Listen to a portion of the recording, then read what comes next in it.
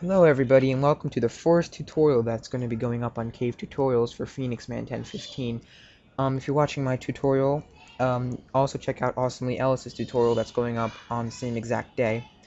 So, um, in this tutorial, as you could probably tell from the title, I'm going to be teaching you guys a little hefty language called pre-algebra.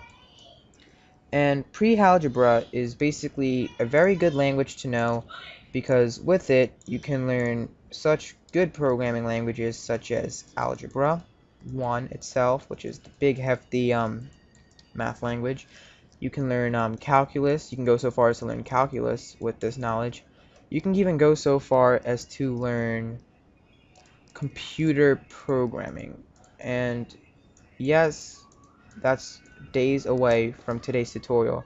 But who's to say that you're not going to graduate from this tutorial and move on to bigger and better things. That's the objective of Cave Tutorials, after all.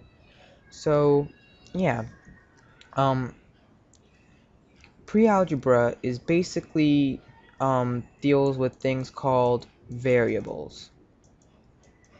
And with these variables, we do several things to them. We analyze the relationships of vari like among different variables we also um, begin worrying about solving for variables. And if this, um, you know, tutorial has very bad looking um, font, then I apologize for that because this is the first tutorial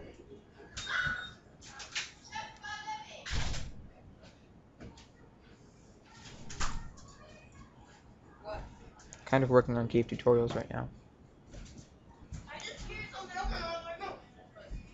So, um, sorry for that cut. So sorry for that cut, but like I was saying, um, Cave Tutorials is basically going to be teaching you guys pre-algebra just so you can graduate it and move on to the big hefty algebra 1 tutorial. I'm going to remind you guys at the end, but after seeing this tutorial, I recommend you guys move on to Algebra 1, which is the next tutorial I'm going to be teaching you guys. So, um, the first thing we're going to learn about in the next part is variables. But that's for a different tutorial on a different day. For now, I say sayonara to you guys. See you guys next part.